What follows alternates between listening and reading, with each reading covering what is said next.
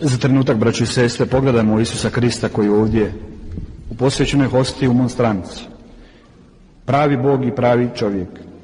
Isus svakoga od nas osobno ljubi i za svakoga je prolio svoju presvetu krv da bismo mi živjeli.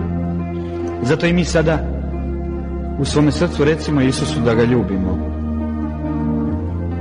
Sveti Franjo je znao u suzama plačući, nije se stidio svojih suza govoriti Isus moja raspeta ljubav nije dovoljno ljubljena.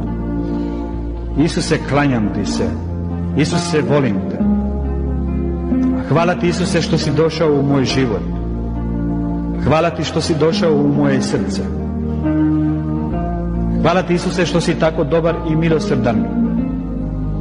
Hvala ti gospodine što si ti veliki silan Bog. Hvala ti za tvoj križ ljubavi. Isuse, hvala ti za tvoju muku koja nas liječi i krijepi. Hvala ti za tvoju prolivenu presvetu predragocjenu krv.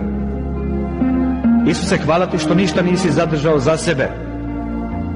Hvala ti što nas ljubiš. Hvala ti što nas prihvaćaš onakve kakvi jesmo. Hvala ti gospodine što si ti Emanuel s nama Bog. Hvala ti što si ti sama dobrota i nježnost. Isuse, hvala ti za majku Mariju. Hvala ti za njezino prečisto srce. Hvala ti za njezinu nježnost. Mario, hvala ti za poruku kad si kazala dok se klanjate mome sinu u presvetom oltarskom sakramentu i meni ste blizu.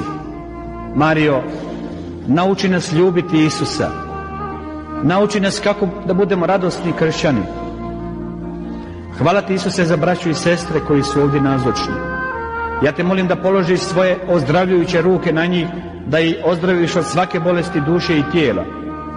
Molim te za svako dijete da ga dirneš i oslobodiš od svih strahova i noćni mora. O gospodine, klanjamo ti se, mi te prihvaćamo večeras kao svoga gospodina, suverenog spasitelja. Ne daj gospodine da se smirimo dok se u tebi ne smirimo. Ti si naš mir, izvor svih mirova. Ti si naš put, kraj našega puta i početak. Ti si alfa i omega povijesti, prvi i zadnji. Isuse, ti si moje milje, moja milost. Tebi trčim, dolazim, ne mogu, ali stižem. Baci mi uže, gospodine. U zelenom lišću ptica ti pjeva poj. Tebi pjeva Isuse. Hvala ti što si ti naš ozdravitelj, osloboditelj, otkupitelj. Hvala ti što si doista naš pravi jedini Bog.